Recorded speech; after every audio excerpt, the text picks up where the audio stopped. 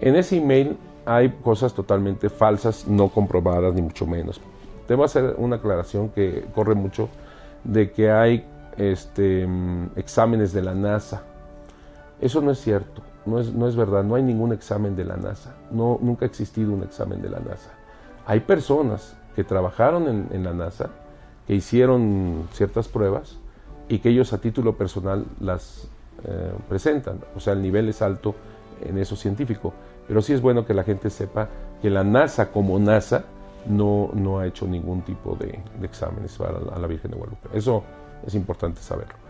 Este, cosas falsas totalmente es eso de que eh, si se le pone una luz directa a los ojos, la pupila se dilata. Eso es totalmente falso que tiene una temperatura como la del cuerpo humano. Nosotros sabemos que hay diferentes temperaturas según los, los, objetos. No es lo mismo un mármol, la temperatura de un mármol cuando lo pisa, cuando pisas madera. O sea, hay temperaturas. Pero de que tenga la temperatura del cuerpo humano la tilma, es totalmente falso. No hay ningún examen en eso. Eh, que los colores están flotando en la tilma es totalmente falso. Lo, maravilloso en la Virgen de Guadalupe es que los colores están adentro, penetran y se pasan del otro lado porque la tilma no tiene preparación. Tú para cuando quieres pintar una, una obra, tienes que poner un lienzo en donde tú pones una preparación para que los colores se mantengan siempre delante. La tilma no tiene ningún tipo de preparación. Entonces, más bien lo sorprendente es que cómo es posible que se haya pintado algo así o más bien impreso algo así, porque no es pintura, no hay brochazo, no hay pincelada, es como una, sí, una impresión tal cual, impreso, una estampación también se le puede llamar, en algo tan rudo, tan, tan sin preparación ni nada. Eso es lo sorprendente. Así que no está flotando. Este, que las estrellas coinciden, con las constelaciones coinciden con las estrellas del manto. Aquí tenemos un, un, este, un científico eh, Juan Homero Hernández Illescas, ya murió, que fue el que pone esta, este estudio, esta hipótesis.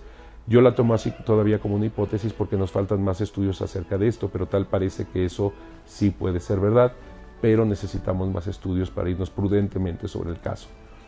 Que este, hay seres humanos reflejados en los ojos. Eso sí es totalmente cierto.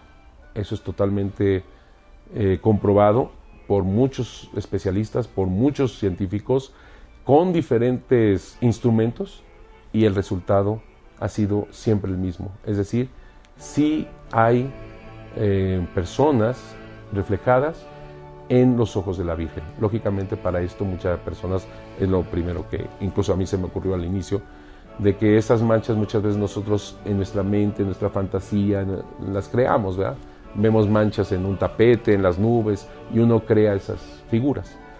Lo, que sorprende aquí es que son oftalmólogos los que con sus aparatos han visto incluso los fenómenos de que estas manchas, vamos a llamarlas así, estas imágenes, se encuentren de cabeza por el segundo lente que tenemos. Este, hay gente experta en computación, hay gente experta en matemáticas, o sea, todos estos científicos con diferentes medios han llegado a la misma conclusión. Ahora bien, no solamente es en un ojo. ahí podríamos decir, bueno, ahora sí que tú con tu fantasía hiciste todas estas. No, en los dos ojos coinciden al 100% las mismas imágenes. Vamos a llamarle las mismas manchas. Al 100% coinciden. Eso no se puede realizar en mano humana.